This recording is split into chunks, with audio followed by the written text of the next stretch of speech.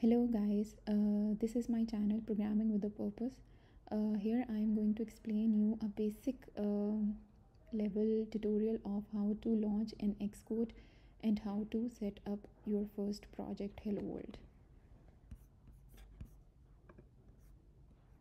So uh, in the search bar you can type Xcode and once you press enter it will launch a development uh, environment which is called Xcode it is uh, you can only use it on the macbook.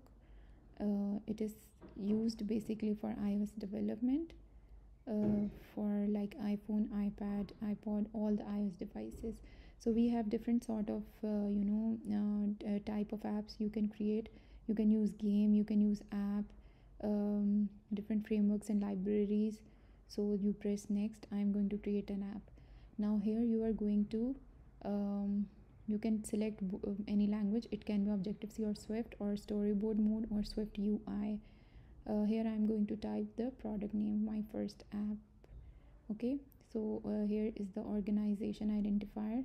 It will automatically append your app name to the bundle identifier.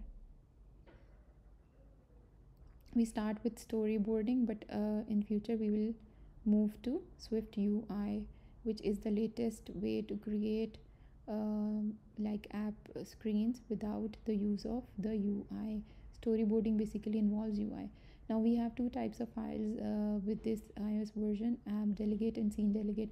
Previously, uh, it was only the app delegate file that handles the lifecycle events as well as the scene and data management. But now, um, iOS uh, Apple has uh, segregated these into two files we will uh, we do not need these files at the moment but i will explain you in my later tutorials that how these files can be used.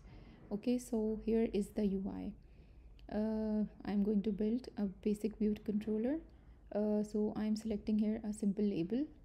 Uh, i'm going to insert it drag drop it on the uh, screen.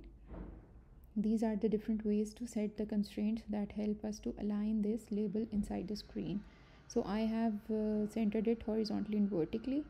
So it will be centered uh, in the center of screen. So here is I'm uh, here I'm adding the label uh, hello world okay to this. Uh, you can see how uh, you can set different properties here.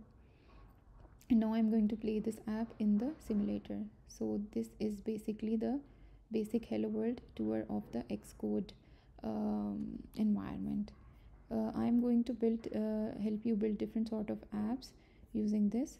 Stay tuned on this channel. Do not forget to like subscribe and follow this channel for further updates and uh, different apps that can be built on the ios platform